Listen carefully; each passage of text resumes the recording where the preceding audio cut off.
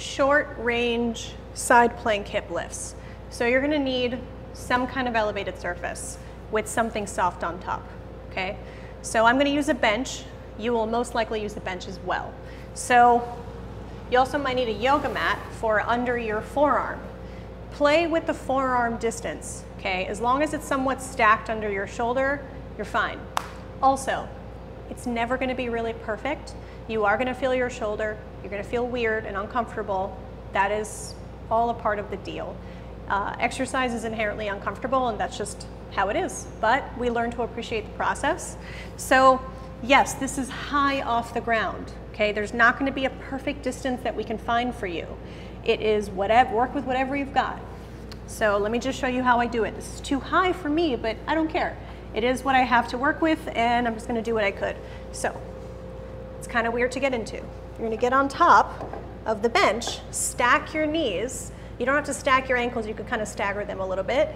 Then you wanna make sure that your knees are in contact with the bench. Then, see how high I'm, I am off the ground? It's a little too high, but whatever. It's what I've got.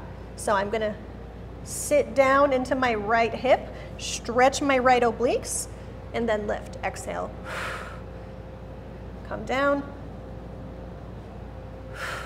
I'm getting as low as I can without lifting my knees too far off the bench.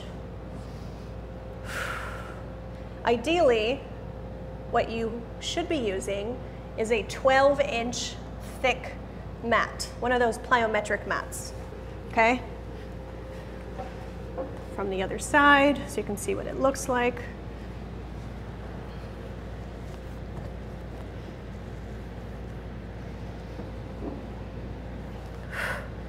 I'm trying to reach into my right obliques. I'm thinking stretch and lift. Stretch and exhale, lift. Something that's very important here is breathing. You want to inhale on the way down as things expand and then exhale to come back up. Okay, it's not gonna be perfect. Like I said, I'm drilling that into your head because this is not gonna be perfect, but it's close enough. Okay, so essentially what this looks like is this. Okay, and we want shifting and rotation. We, we, we don't want to stay super stiff all the time. Okay.